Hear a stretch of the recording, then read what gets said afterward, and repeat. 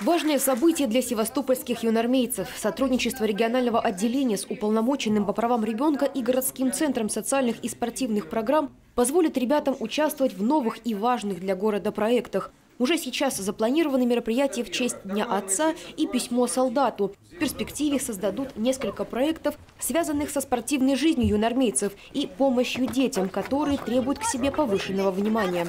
Буквально вчера мы создали при уполномоченном по правам ребенка Совет отцов. Так это в рамках взаимодействия с юнармией. Конечно, и здесь будет э, патриотическое воспитание с учетом того, что в Совет отцов вошли знаковые люди для города. Это представители боевого братства, это представители других патриотических движений, это э, представители э, отцов именно из силовых структур.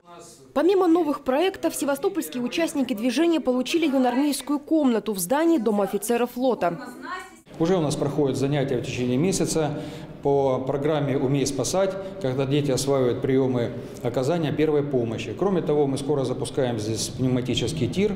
Будет у нас занятие по такелажному делу, по э, устройству шлюпки, здесь также мы планируем проводить занятия по начальной военной подготовке, по психологической подготовке. Ну, кроме того, на сцене Дома офицеров мы уже и в прошлом проводили более четырех концертов, посвященным знаменательным датам. За два с половиной года существования движения «Юнармия» его участниками стали порядка 300 тысяч мальчишек и девчонок. По словам Владимира Коваленко, в Севастополе значок юнармейца получил каждый шестой школьник. Но помимо участия в интересных и важных для города проектах, перспективе ребята смогут получить льготы при поступлении в высшие учебные заведения. По словам начальника главного штаба движения «Юнармия» Романа Романенко, со следующего года в 20 гражданских вузах к результатам ЕГЭ выпускников будут добавляться баллы. Но, по словам Владимира Коваленко, важно сделать акцент не на льготах, а на гордости ребят за собственный патриотизм. Активность детей в военно-патриотической жизни города будет в перспективе учитываться при поступлении в профильные высшие учебные заведения Министерства обороны.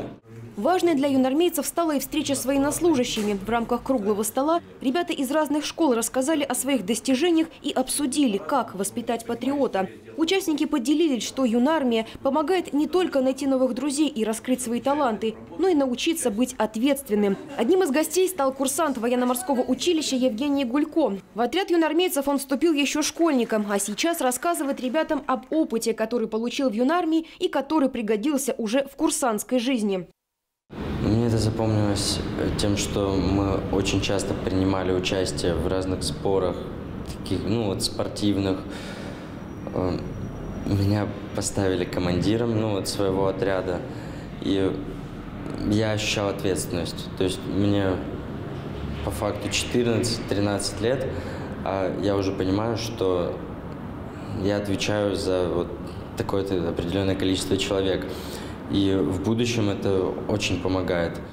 Впереди у ребят множество интересных проектов и новых знакомств. Каждый из них пройдет свой путь юнормейца и осознает значение слова «патриот». Даня Марущак, Алексей Антонов, Севинформбюро.